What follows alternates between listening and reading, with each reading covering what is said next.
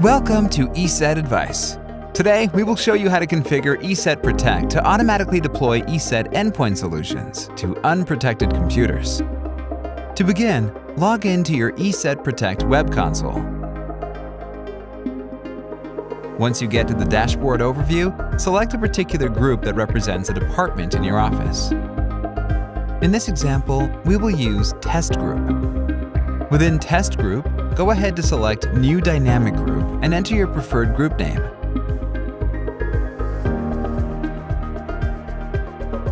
After creating a new dynamic group, we will next create a new template. Enter your preferred name for the template. Select the Expression tab and select NOR from the list of options under the Operation drop-down box. Lastly, we will need to add a rule.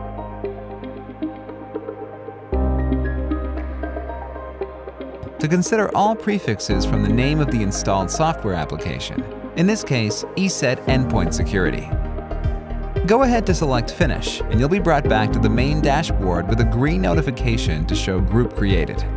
Now proceed to select Tasks and look for Software Install. Go ahead to create a new client task with your preferred task name.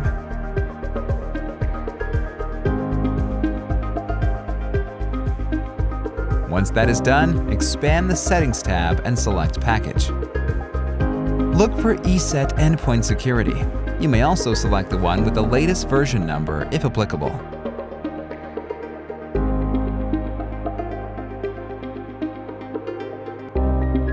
You will receive a prompt to create a trigger event. Go ahead to create a new trigger description. In this example, we'll use Install Endpoint. Assign the created trigger to the dynamic group you've created at the start of this video.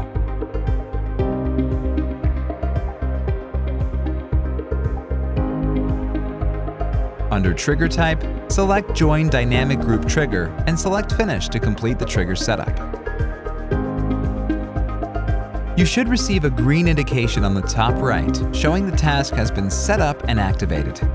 Now you have successfully created a rule to have ESET Protect automatically install ESET Endpoint Security to new computers within the office. How cool is that?